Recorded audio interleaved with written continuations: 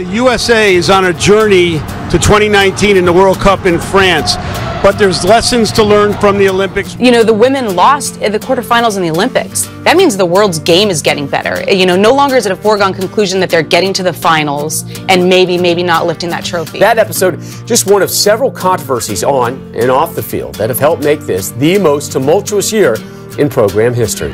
The US looking to turn the page and move on and start a new cycle and a long cycle. Here's Heather O'Reilly getting her first touch in a trademark fashion, delivering the cross and has an assist straight away. This crazy dream last night. And now Carli Lloyd is uh, rampaging through Heather O'Reilly. future looks good. And there you see what she brings to the field.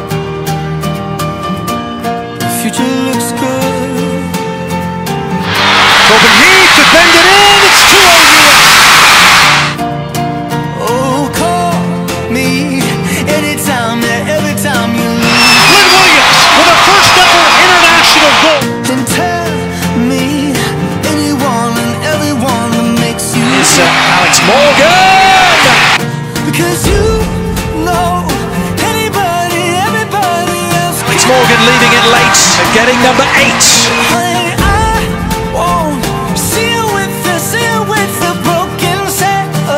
Try a long hit. What a goal from Lloyd!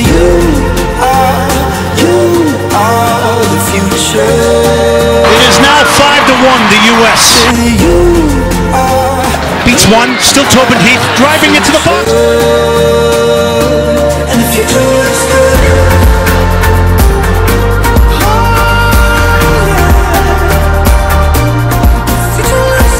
Piece of magic from Tobin Heath.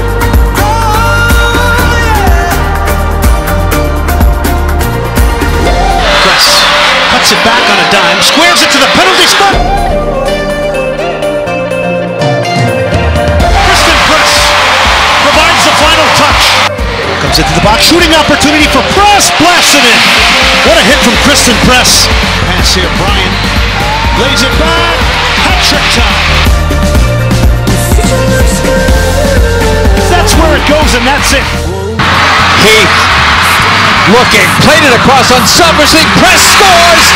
That's goals in four straight games. Looked at a thousand different pictures that your mother took of you. Oh, hi.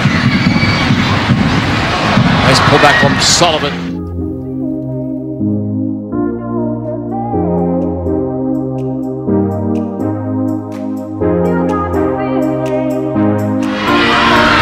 Heath, Horan. Nice ball. Heath in the end line. Keeping it alive. Wants it on the right foot. Stays back, goes back.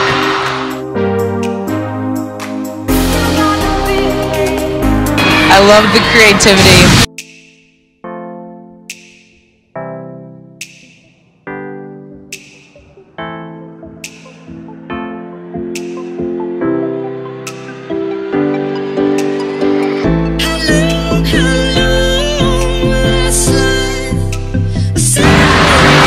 Off Janssen, Tobin Heath. Heath coming in for the right hand side, headed towards the byline, drags it back, and a shot and a goal for the United States.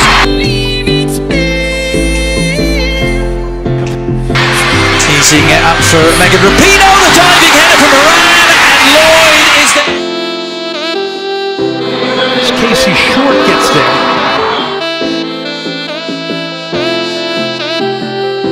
The captain, Tobin Heath. Done, opening the game up. It's Ojai now. Tons of players in front of her. Self pass from Ojai. Well delivered ball, too. Here's uh, Tobin Heath now. Hurdles one defender. Still Heath. She's got Crystal Dunn to her right. Brings her in. Here's Dunn now. Dunn to the end line. She's left the defender. She squares it back. Shot is blocked. In it goes Christen Press.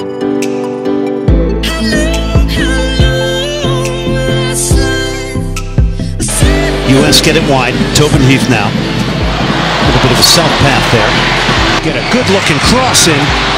Oprah came off her line, empty net, and it's swiveled in by Alex Morgan, who picks up her second.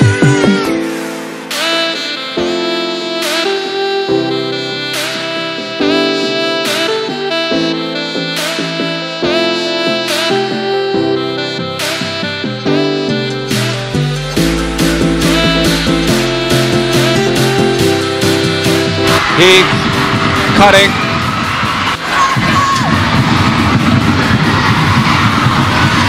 O'Hara sending it in. Not it down. There's another one. Yes.